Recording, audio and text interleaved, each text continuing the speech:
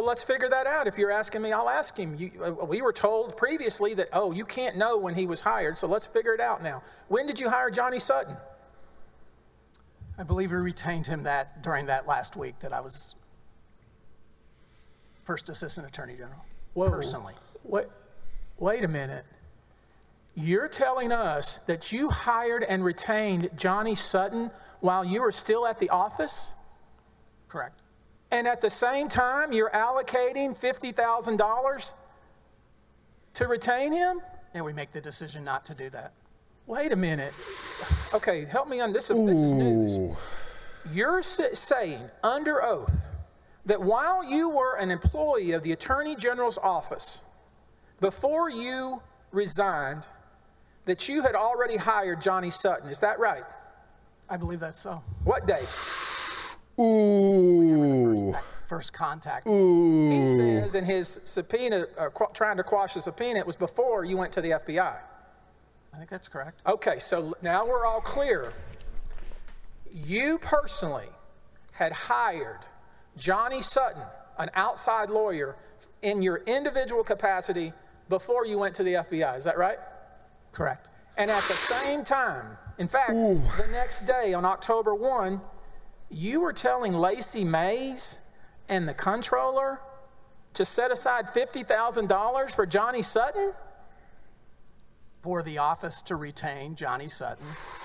You were going to have Johnny Sutton represent you individually and also the office, and who you were going to have the office pay for it? Oh, dude, what were you doing? That's not correct. Dude, no. Dude, It is not uncommon. You realize No, now that what you that's just testified Could you, to? could you let him finish, please? Just finish his answer. Do you realize what you just testified to? No, sir. You just told this entire jury that you had hired an outside lawyer in your individual capacity before you went to the FBI on September 30th, 2020. And the very next day, you were instructing your subordinates to set aside $50,000 for Johnny Sutton. And the agency never hired Mr. Sutton. The agency never paid eh, any money to Mr. Sutton. no. The decision that we made, the agency not to hire him. That never happened. The decision we made We, me and the other At best, at best, you're inviting your own lawyer into an explicit conflict of interest. That's the good version. Can you help At me understand? best- I guess you've told me now. At Johnny best, you've hired this guy to while you were still represent you.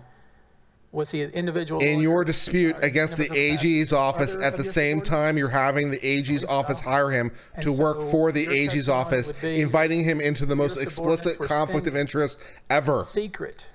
That's the good version. right. Also, incidentally, because you yourself are also a lawyer and are directly inviting another lawyer into an explicit conflict of interest, you're also violating your own ethics. That's the good version. It gets worse from there. It, it, it, it- You you know, it. the the the non-good version, Mr. uh, it could look like it could to a Did you not- person look look like self-dealing You'd have to ask them, sir. I will. I'm or even embezzlement. I never asked them if they looked at the invoices.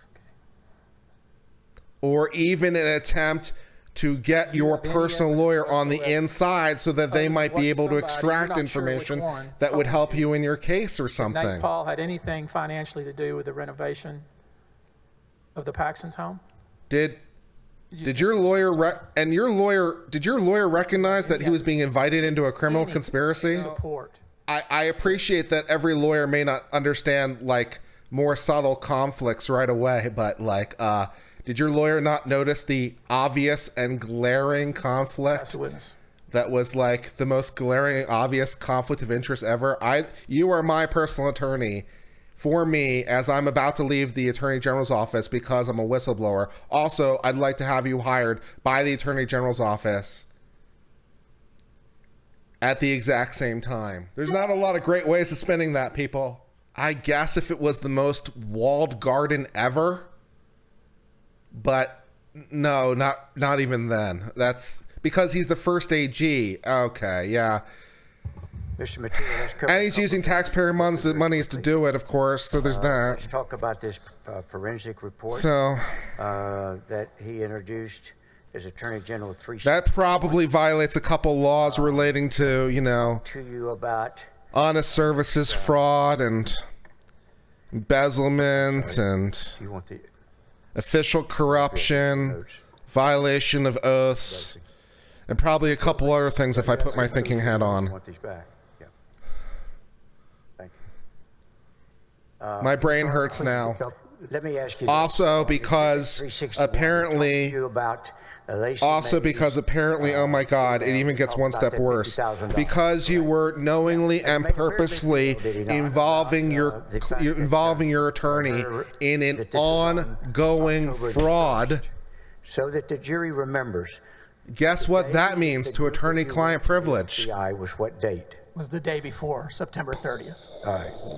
And on the date, on the uh, the date So, can we call the attorney to the stand? We sure can. you sent Attorney-client privilege just disappeared into a nice little puff of smoke. It happened right before our eyes. It was magic. the Attorney General asking to meet with you. It's actually October 1st. That's That October John 1st. All right. That at some time that day, did you, they, you- did you, as a group, decide that was not a good idea? We did eventually decide that, yes. Was that after you had uh, authorized the exercise of paperwork to make it possible? Well, what we did again was my email was making sure and seeking confirmation that there were funds in the event we decided to do that. We did not do that. Had we done it, we would have gone through, we've gone at length through. Yeah, that's that's one way of characterizing it. A more aggressive prosecutor might. follow through on it. Your explanation is we were putting money aside with an idea of What would you potentially hiring do to get for the future, and we decided not to do that. A, a more aggressive prosecutor might characterize it just like we've as an a as a uh, substantial step that, process in furtherance of a criminal activity might would have been qualify as even have to be attempted fill in the blank. Before funds are expended or a contract is executed. All right. So before a contract could have been worked out with Yeah. Mr. Sutton, Initially, I'd also like to point out that this is their this is their start starting witness. It's not going great right now. The Of all the attorneys in all the world to hire at the AG office, it just happened to be your personal attorney that you had um, also just hired. did Mr. Mr. Sutton? He was the most qualified person for the job. I believe so. Okie dokie. And by that time, had y'all orally retained him to represent you individually instead of the company, the uh, the agency? Yes, eh, sir. Eh, Do you eh, have any evidence or And of course, what is your of course, position as to now you can make a thinks there may potentially colorable argument, and and and and, share and the it just continues to get worse, pile. information they're concerned about. depending on what other people knew at the AG's office, depending what these other people knew that were in up, up, up arms that were involved in the removing of the letterhead and stuff, depending on their involvement, You had retained him. I, I did not. if they were in an if they were in an agreement, um, ask If they were in an FBI, just a couple agreement, More areas. and then this guy you have no went and tried to experience, is that hire correct? His own lawyer Carrington Coleman, Mr. Coleman. to work for the AG's office. Criminal cases. So when I was a first or And he took an overt step did do a couple criminal in furtherance of the agreement. What is your experience? They have a name for that, too. crime, what they believe may be a crime to law enforcement.